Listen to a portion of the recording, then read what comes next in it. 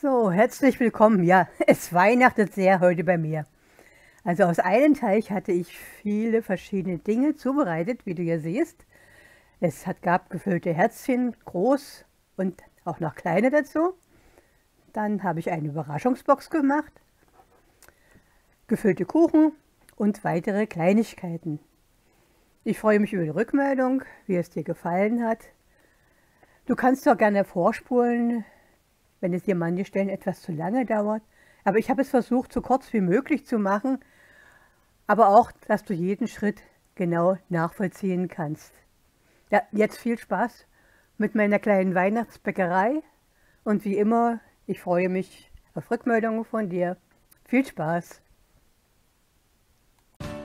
Kochen mit Ursula und den Heißluftofen. Tolle leckere Rezepte, schonendes Garn, Kalorien sparen. Erfahr alles zum Heißluftofen. Klicke hier und abonniere meinen Kanal und verpasse keine Tipps von mir.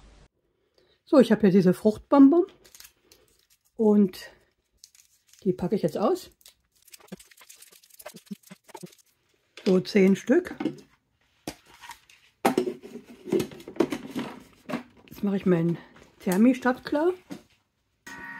Und jetzt habe den jetzt Stufe 5 mal eingestellt. Und da schmeiße ich jetzt die 10 Bonbons drauf, auf das laufende Messer.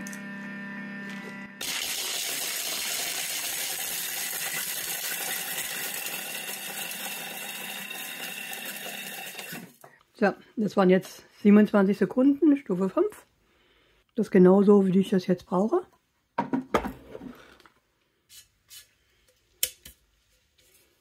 So,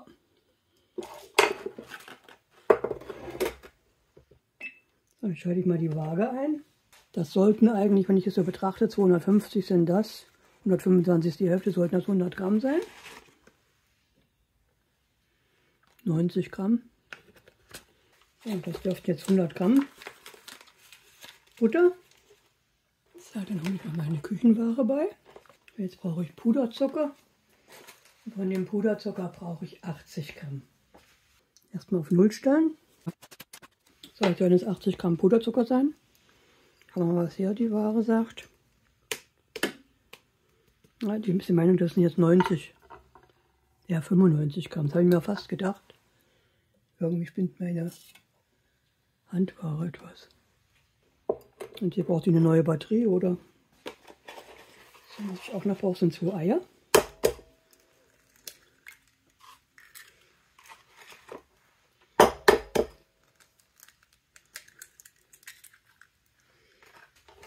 Die zwei Eier werden etwas aufgeschlagen. So, mein Thermomix wieder zumachen. Und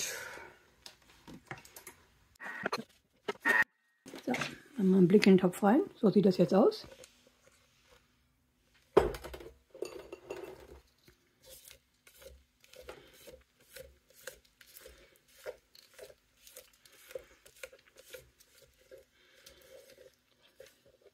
Jo. Kannst du mal ganz kurz schlagen lassen, dass die Butter noch etwas mehr verrührt ist mit dem Puderzucker.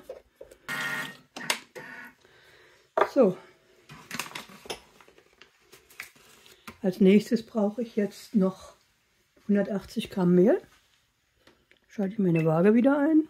180.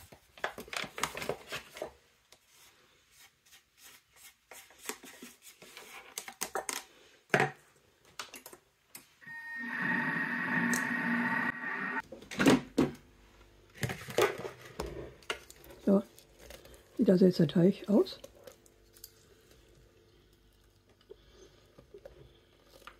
Also so sollte der Teig jetzt von der Beschaffenheit sein. Also genau richtig.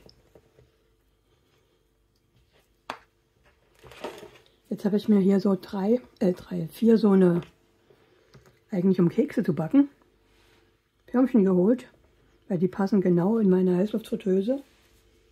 Ich habe da die Ninja, die 551, da passen die gut rein. Aber ich habe auch noch eine andere, die Calmno, die da hinten steht. Und da habe ich geguckt, da passen die Vierer auch ganz gut drauf. So, jetzt brauche ich ein bisschen Platz. Ich kann die Kamera mal hier rüber schwenken. Hier habe ich von Dr. Oetker Sonne, die soll eigentlich so auf Druck gehen, aber das klappt irgendwie nicht so richtig. Ich mache das immer und drücke die mit Hand runter. Probieren wir mal, ob es jetzt klappt. Hier habe ich so eine Spritztüte oben drauf. Füllt sich mit einem Löffel besser rein. Ich mit Löffel wieder gelassen. Das sollte erstmal ganz gut lang. Setze ich die auf und mache das zu. Dann drücke ich die Masse schon mal runter. Die erste Kringel fertig. So, und die kommen jetzt in die Heißluftfritteuse. So habe ich die jetzt hier drin. So. Soll die sein? Airfrei. 160 Grad.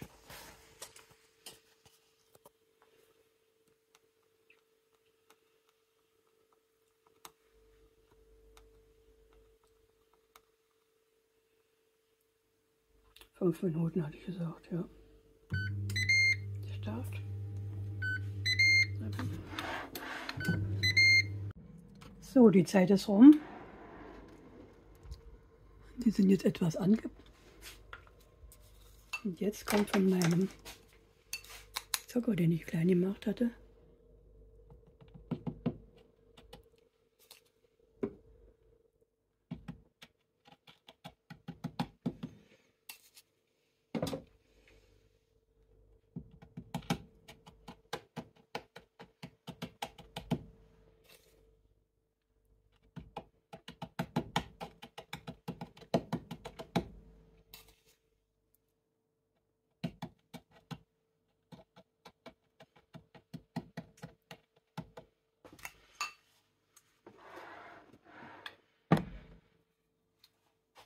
Airfryer wieder einschalten. 360 Grad. Und vier Minuten nochmal. So, wenn ich mir jetzt mal anschaue, dann fehlt da ein bisschen am Rand. Und da ist es auch, fehlt auch noch am Rand. Jetzt mache ich folgendes, ich schalte das mal ganz kurz ein. Dass es nochmal wärmer heiß wird.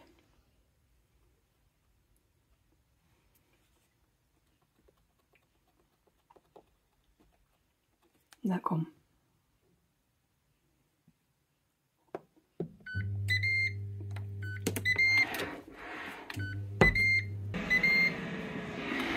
So, jetzt hoffe ich, dass es warm genug ist. Jetzt mache ich irgendwie folgendes. Ich stelle die Förmchen. Ups, jetzt klappt es nicht so wie ich will mal kurz so senkrecht. Also ich hätte doch noch etwas mehr nehmen können. Und jetzt beobachte ich, es läuft jetzt langsam, läuft jetzt runter. Ich hoffe, es war warm genug. Bei dem sieht schon ganz gut aus, wie sich das jetzt runterläuft. Schokoladenkügelchen.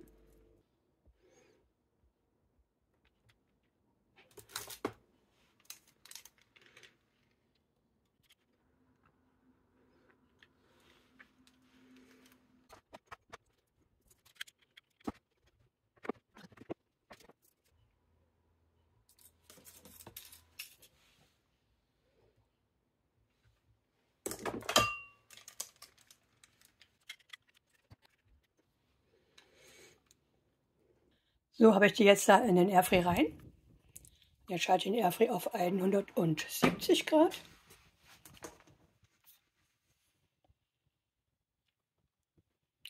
...170 diesmal.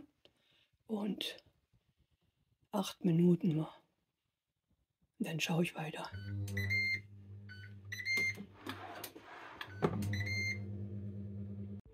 So sehen Sie jetzt erstmal nach der Zeit aus. Jetzt lasse ich die etwas abkühlen. Dann werden sie weiter verarbeitet. Etwas veredelt noch. So, die Spannung steigt. Ich habe ja diese gefüllt. Da in der Mitte ist die Schokolade drin. Und jetzt gucken wir mal, was mit der Schokolade passiert ist.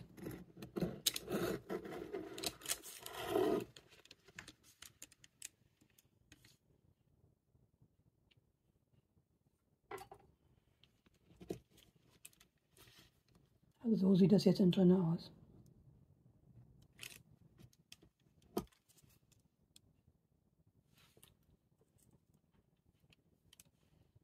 Relativ weich.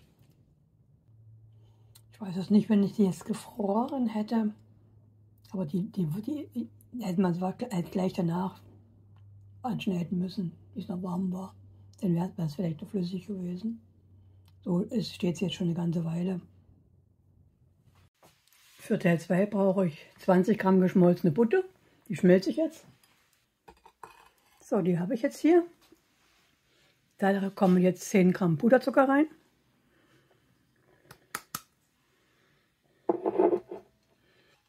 So, dann stelle ich mir meine Waage wieder auf Null.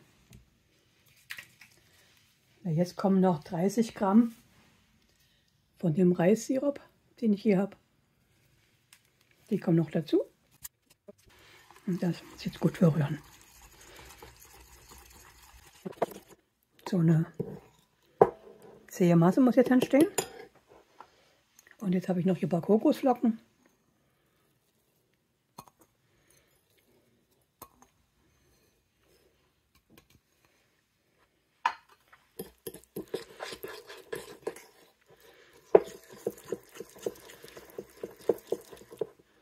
So, jetzt probiere ich ein großes Herz zu machen.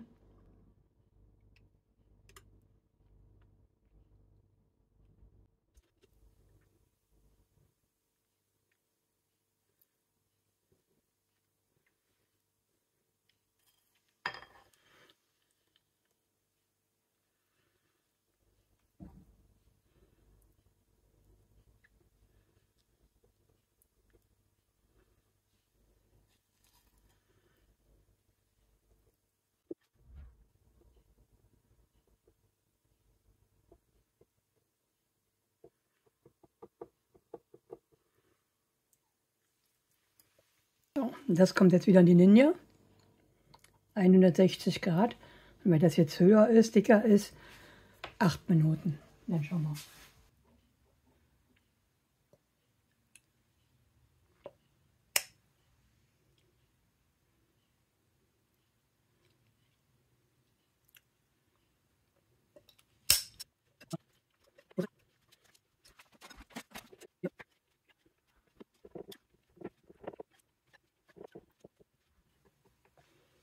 So, schön nicht, aber selten. Das kommt noch, wird noch weiter verbraucht. Ich habe noch mehr vor. Bei 160 Grad kommt das jetzt für sechs Minuten mal in den Ofen, dann schaue ich weiter. Also in die Heißluftfritteuse, in den Ninja. So, aus einem Grundrezept wurden sehr viele Sachen zubereitet. Einmal diese gläsernen Herzchen, diese kleinen. Dann habe ich sie hier auch mal anders größer gemacht und gefüllt. Das sieht jetzt aus wie mit Ornamenten. Hier habe ich ein ganz großes Herz zubereitet.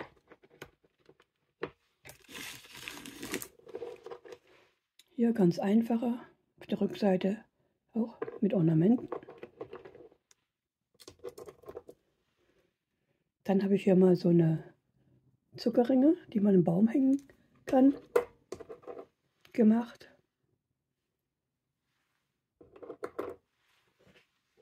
Ja, hier noch so ein paar Herzchen und Kringelchen. Ja, und das Ganze muss jetzt noch veredelt werden. Und hier wird noch was draus gebastelt.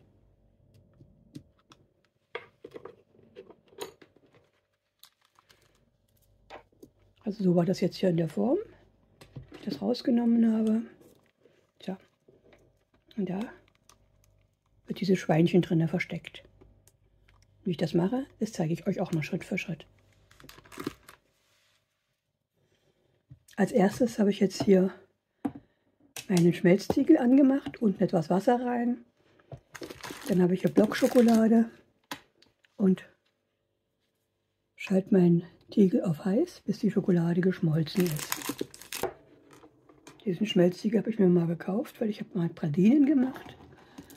Und da muss ja die Schokolade auch 100% genau temperiert sein und da ist der richtig ideal dafür. Und jetzt kann ich ihn auch wunderbar für meine Weihnachtsbäckerei benutzen. Hier hatte ich auch mal so eine Platte mit einem kleinen Loch drin. Und da hatte ich auch ganz einfach diese Förmchen genommen. Da den Zuckerguss, was ich euch im Video noch zeige, rein. Abkühlen lassen. Mit einem kleinen Loch drin kann das auch wunderbar aufgehangen werden. So, jetzt habe ich hier Butterbrotpapier unten drunter. Für die Dekoration habe ich hier noch ein paar Herzchen, ein paar Perlchen.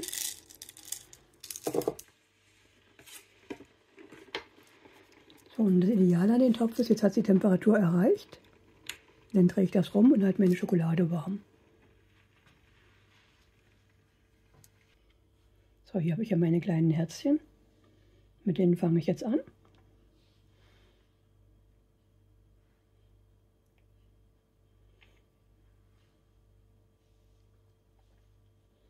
So, die habe ich jetzt auf der einen Seite sachte eingetaucht.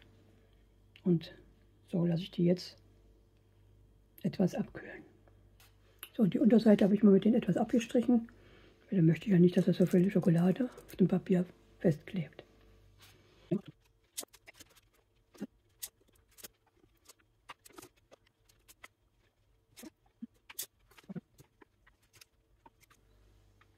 So, und jetzt werden wir dann die Bastelarbeit machen. So, und ich hatte ja jetzt hier noch Ringe gebacken, die offen sind.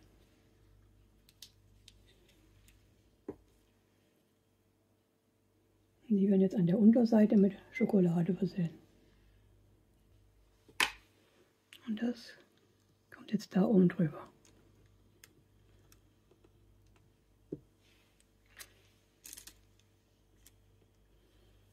So, und das lasse ich jetzt abkühlen.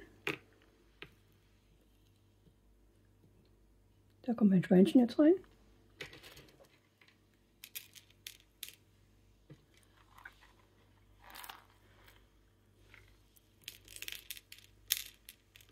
Und Herzchen und Glücksperlen.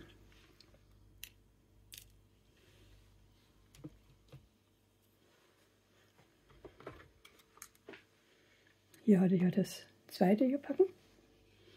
Das wird jetzt ebenfalls von der Unterseite mit Schokolade versehen. Ruhig etwas mehr. Und jetzt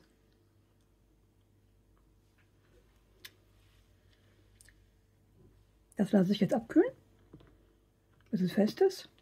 Und dann geht es da weiter. So, jetzt muss es noch komplett auskühlen. Ist ja schon ganz gut fest. Baustellen sind noch. Dann ist unsere Überraschung da drin fertig.